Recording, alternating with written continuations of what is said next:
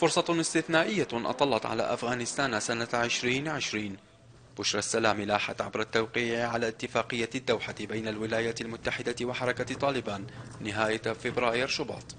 اتفاق وصف بالتاريخي كلل أشهرا من المفاوضات الماراثونية. تضمن جدولا زمنيا لانسحاب جميع القوات الأجنبية من أفغانستان. مقابل التزام طالبان بفك التحالف مع تنظيم القاعدة وأن لا تكون البلاد منطلقا لأي اعتداءات إرهابية مستقبلا. كما شكل الاتفاق حجر الأساس الذي انطلقت بموجبه عملية السلام والمصالحة الداخلية. بعد أشهر من المراوحة بسبب شيطان التفاصيل لا سيما مع محاولة السلطات في كابول التنصل من الالتزام بالإفراج عن خمسة آلاف من سجناء الحركة. قبل أن تبادر إلى إطلاق سراحهم بناء على توصيات المجلس الأعلى للأعيان اللويا جورجا وهو ما شرع الباب أمام بدء مفاوضات السلام الرسمية بين الحكومة الأفغانية وحركة طالبان. الانفراجة في ملف المصالحة الأفغانية سبقتها أزمة سياسية حادة في كابول.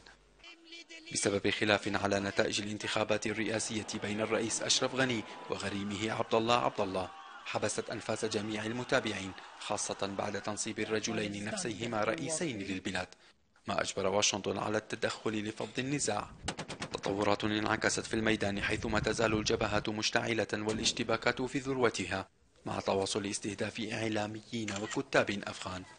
إلى ذلك فاقمت الكوارث الطبيعية وأزمة جائحة كورونا معاناة الأفغان. اجتاحت فيضانات عارمة أجزاء واسعة وتسببت بسقوط نحو 200 قتيل. وجرفت السيول مساحات واسعة في سبع ولايات. وجاء انتشار وباء كورونا ليفاقم من المشاكل الصحية والاقتصادية المتردية أصلا. وقررت الإغلاق شلت البلاد وزادت من عوز العمال وأسرهم.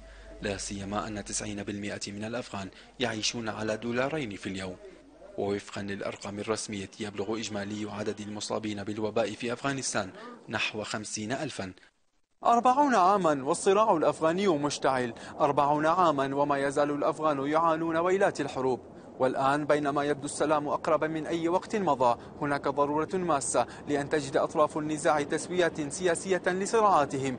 على أمل غروب شمس مشاكلهم في انتظار فجر جديد مع بداية العام الجديد. جواد جوادي العربي.